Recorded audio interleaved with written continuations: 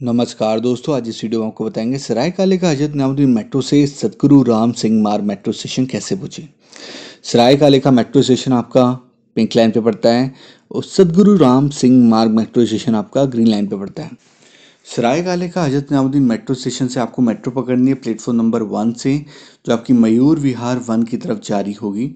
जैसे आप मेट्रो पकड़ेंगे, आपका अगला स्टेशन आएगा मयूर विहार वन।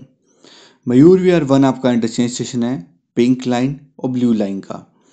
मयूर विहार वन से आपको मेट्रो पकड़नी है प्लेटफॉर्म नंबर टू से जो आपकी द्वारका की तरफ़ जारी होगी।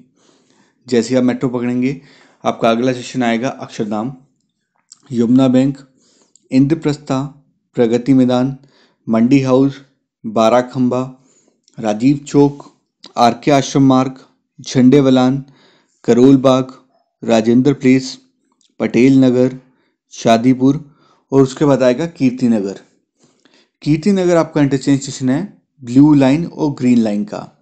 कीर्ति नगर से आपको मेट्रो पकड़नी है प्लेटफॉर्म नंबर थ्री से, जो आपकी ब्रिगेडियर होशियार सिंह की तरफ़ जारी होगी। जैसे आप मेट्रो पकड़ेंगे, आपका अगला स्टेशन आएगा, सतगुरु राम सिंह मार्ग।